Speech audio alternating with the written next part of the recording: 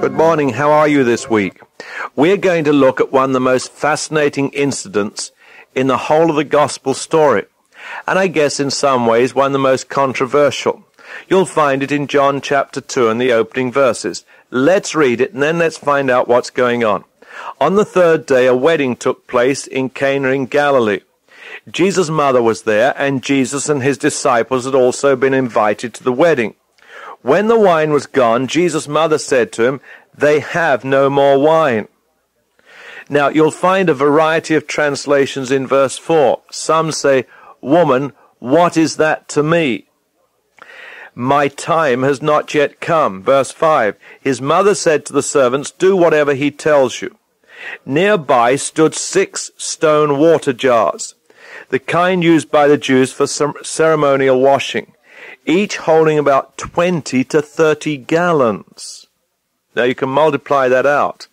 You can say, just a minute, Richard, what sort of party is this? Now, before we get any further into the story, let me tell you something. When the Jews used this wine, it was two parts wine and three parts water. It wasn't exactly strong. All right, let's go on. He told them, fill the jars with water. So they filled them to the brim. Then Jesus said, Now draw some out and take it to the master of the banquet. They did so. And the master of the banquet tasted the water that had turned to wine.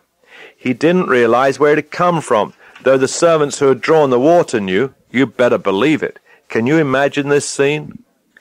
Then he called the bridegroom aside and said, Everyone brings out the choice wine first and then the cheaper wine after the guests have had too much to drink. But you've saved the best till now. This is the first of the miraculous signs Jesus performed in Cana of Galilee. He thus revealed his glory and his disciples put their faith in Jesus. Now, there are a couple of things to see before we really get into this story. First of all, Jesus was invited to a wedding banquet and he went, and his disciples went with him. By the way, it was expensive to invite Jesus to supper. Those twelve big fellows came with him and ate. So if you invited one, you got thirteen. You might remember that. The second thing is, will you notice that Jesus accepted the invitation? I don't want to belabor this, but do notice that. I meet some Christians who never mix with the world. They won't even sit down with them. But Jesus did. It was very happy for Jesus to be among people. And we've got to be awfully careful as followers of Jesus that we're willing to go where Jesus went. Isn't it interesting? I've heard people say, Oh, I wouldn't go there. Why not? Oh, they're all of the world. Now, what do you mean? You would have let Jesus go, but you won't go? There's something wrong with that. Jesus was totally at home in a home for a wedding. Now, the weddings in those days were rather different from ours. The bride and groom became king and queen, quite literally, for about a week. And apparently this particular wedding took place on a Wednesday. And if that's true, it's likely that Jesus met Nathaniel on the Sabbath. Well, let's go on they celebrated, and of course they had pretty harsh lives. So the celebration in a village was a celebration. I mean, the whole village got in on the deal. They just had a marvelous time.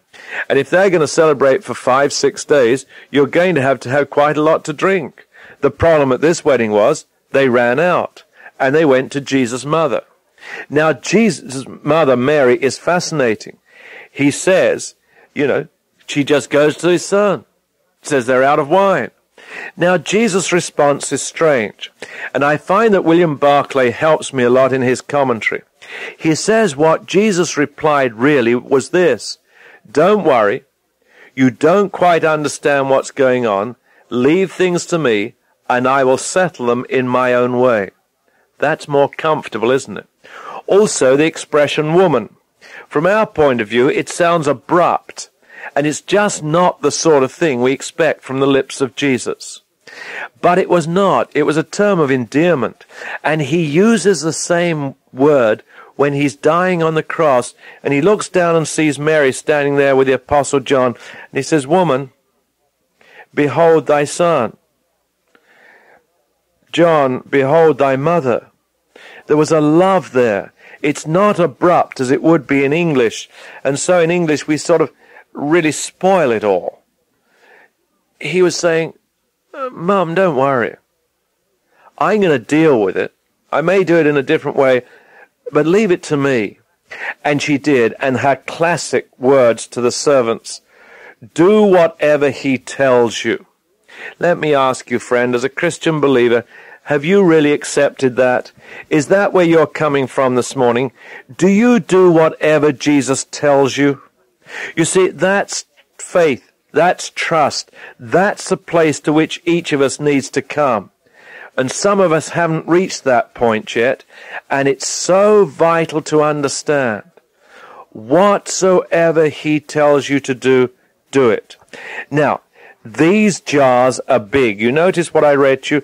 They held between 20 and 30 gallons, and there were six of them.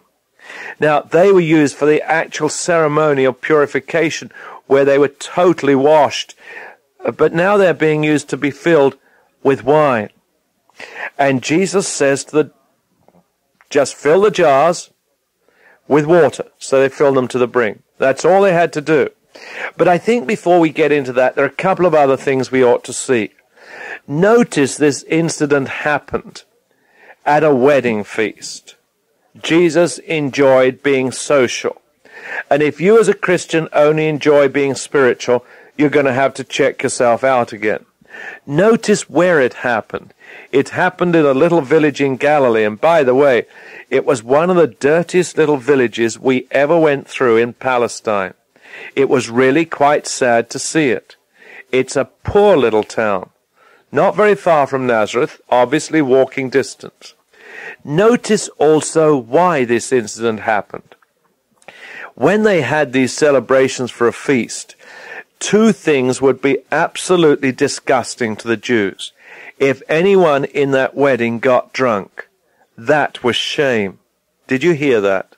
If anyone got drunk, that was shame. They didn't. That wine didn't get people drunk, and you wouldn't drink too much of it. The fact was it had to spread over a lot of days. So that's the first thing. Also notice it would have been a terrible embarrassment for the host who happened to be the bridegroom if he ran out of wine. You always provided plenty. Remember, a lot of these people were very, very poor. They only sort of lived from the ground on which they lived. They didn't have very much. And this poor fellow had done something wrong in his calculations, or more people had turned up to the wedding. Whatever it was, he had run out of wine. And that would be a terrible shame on him. So Jesus steps in and saves the shame. Now, there are two beautiful things here. Notice, will you?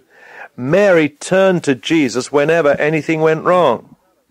She had lived with this fellow for 30 years, and she knew where the answers came from.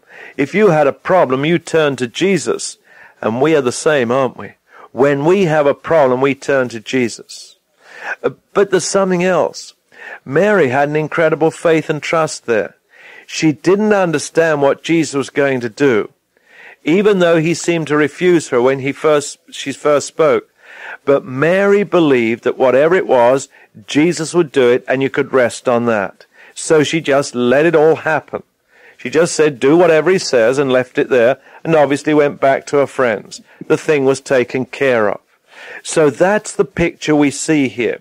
And what we're seeing, Jesus just gave a simple kindness, an understanding of a situation that could have been so embarrassing, and Jesus just stepped in and put things right. Now, I want you to picture being those servants. You've got to get these incredibly big jars. You fill them all with water. And then what does Jesus say? He says, draw from them and take to the master of the feast, the master of ceremonies. Now you can feel a goon if you're a servant doing this. Can you understand what's going on? You've just filled these pots with water and this fellow says to you, now just draw a glassful and give it to the master of the feast. So they do. And the master of the feast tastes it, and it's absolutely magnificent. And he goes and draws the bridegroom aside and said, What have you done? The bridegroom says, Why? Well, he said, Usually they give the best wine first. But he said, this new wine is absolutely wonderful. You can imagine the poor bridegroom, he's having a big enough week as it is, but he didn't know what was going on. He was perplexed too. What had happened? The wine that Jesus had provided was the best that could be provided. And it was a total, total miracle. There's no way to explain this one. Somebody said that if it had turned from wine to water, they'd still have believed it. Uh, but by the same token, this was a miracle. Jesus steps in, and with one act of kindness, he saves embarrassment for that situation. He gets the host off the hook in every sense of the word. We're going to be like Jesus in our lives. Then we're going to mix with people. Never are we going to be too spiritual to attend something that's social. And I believe this. In the invitations we receive to such things, we need to be very sensitive to the Holy Spirit. Does the Holy Spirit want us there? Has He got something for us to do? One of the ladies in a Bible study group some years ago related this story that's always stayed with me. Her husband, in a business situation, was invited to a cocktail party. And he said, Now, dear, you're going to have to come with me. And she said, I don't want to come. He said, I'm sorry, but you've got to. It's just part of the whole thing. She said, I don't want to stand round in a cocktail party for hours. He said, I'm sorry, you have to go. So she went, and she had to spend four hours in a cocktail party drinking tomato juice, or if you prefer it, tomato juice. But she had to drink it. And do you know what the Lord did? During the four hours, he brought her four other wives who were all in need and each one heard about Jesus. And had she not gone to that cocktail party, those four women would never have heard about Jesus because they would never have met her. I think you have to understand that Jesus is ready to use every situation of our lives to his praise and glory. What he wants from us is our availability. As you go to work today, as you go around the things you have to do today, are you available for Jesus as Jesus was available to men and women? People out there hurt. People out there have needs. And because you have Jesus, you have the answer.